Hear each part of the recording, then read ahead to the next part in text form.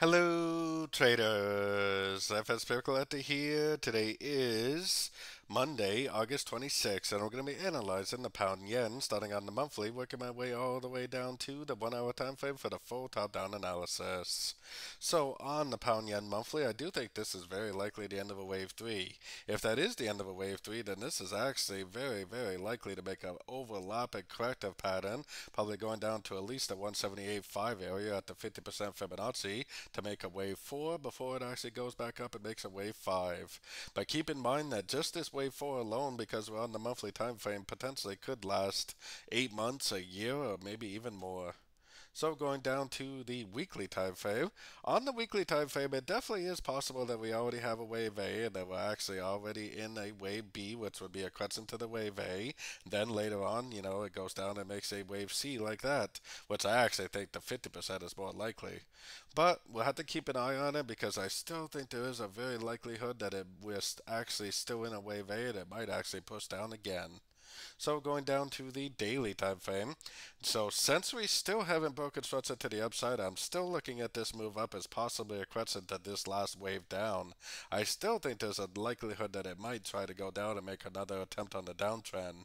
I am definitely still looking for sorts on sort of time frames. Now, while I'm looking for sorts, if it makes one, two, three waves down to a Fibonacci retracement level or this last push up, and then a nice engulfing move to the upside, then that will definitely tell me to stop looking for sorts and start looking for longs again because we're likely already in a wave A, B, C of wave B, like I was showing on the higher time frames.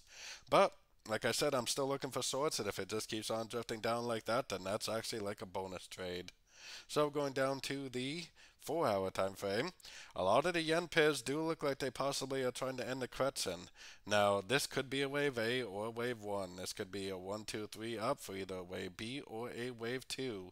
We could be now, right now, in a wave C. If we are at a wave C, then it would most likely go down to a fib level, make a fib bounce, and then continue the uptrend. Or we are in a wave 3. In a wave 3, we'll still bounce from fib levels, but it won't break structure. It'll just keep on making lower lows, lower highs. So I'm definitely looking looking for sorts, and while I'm looking for sorts, I'm going to learn and earn whether this is a wave C or whether this is a wave 3. So taking it down to the one hour time frame. One hour time frame, I personally am definitely looking for sorts. I'm looking for one, two, three way pullbacks to go sort again for the continuation of the downtrend. Whether it's a wave C or whether it's a wave three, I would definitely expect to see more movement to the downside for either scenario. And I think the four hour time frame, if we pay attention, we should be able to tell the difference between a wave C and a wave three. For now, I'm definitely looking for sorts in a downtrend at the end of three way pullbacks. So, don't forget to join my free Discord channel, which is linked over here in the corner. And as always, thank you and happy trading.